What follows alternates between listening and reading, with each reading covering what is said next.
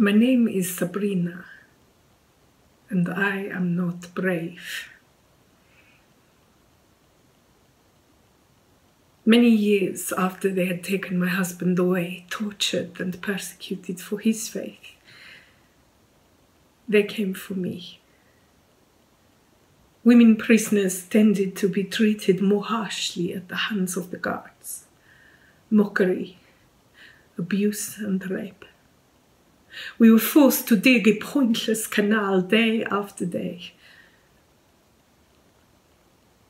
One of the joys of the gods was to push us into the canal and then fish us out and laugh and laugh at our wet, shivering bodies before them. Oh, I have seen it. I have seen the very depths of humanity the very extremities of sin and injustice. But I have seen a God who has never forsaken me. For many times, the gods they would say, You are forsaken, but not by Him.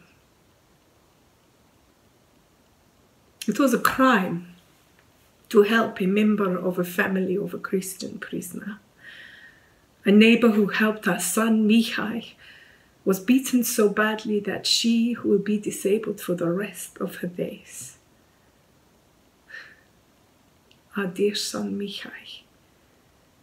You can only imagine what this did for his faith. In his eyes, Christianity had robbed him of a father and now a mother too. He was very angry. But one day,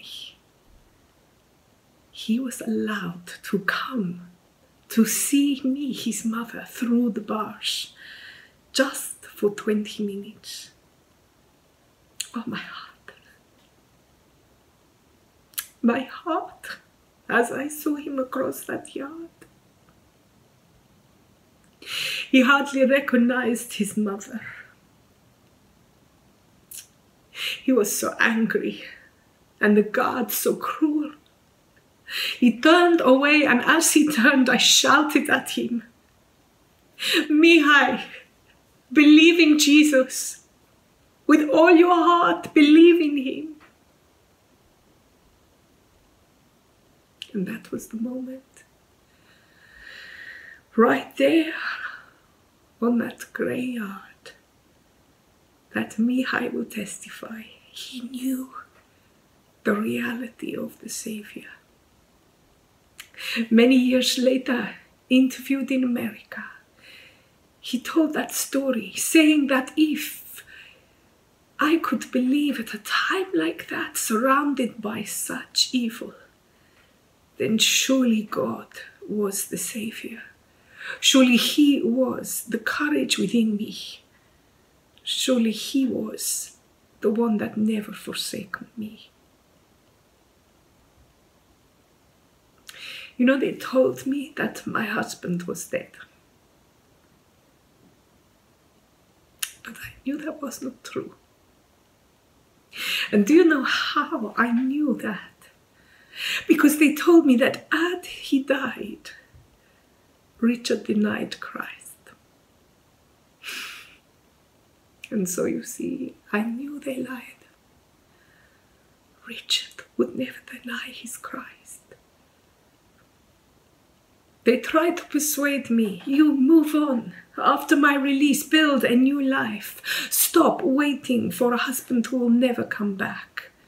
You are a widow, you are forsaken. But no, the Lord said, trust in my promise that I will never leave you nor forsake you.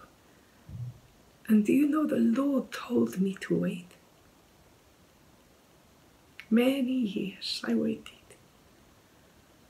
And after 14 years of prison, of solitary confinement for Richard,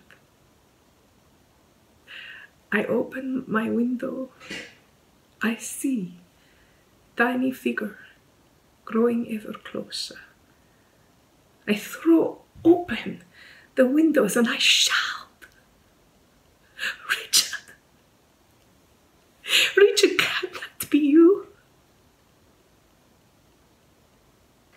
it was my husband. He was coming back to me. And do you know, later that day, I stood encircled in the love of my family, Mihai and Richard. And we praised God. We praised Him that He was the one that gave us strength, that gave us courage when all else was wasting away. That He gave us everything that we needed to stay strong. So you see, I am not brave. Many times in my cell, I would scream out to God. I would ask why over and over. But yet, there was the miracle that He was with me in that place. That somehow I knew it was His promises that I would trust. Not the word of a God, not the word of an impostor, but the rich and true words of Jesus Christ. So my prayer for you in in your trial, in your prison, whatever that may be, is that when all seems lost and when you feel forsaken, remember in Christ, you are never forsaken.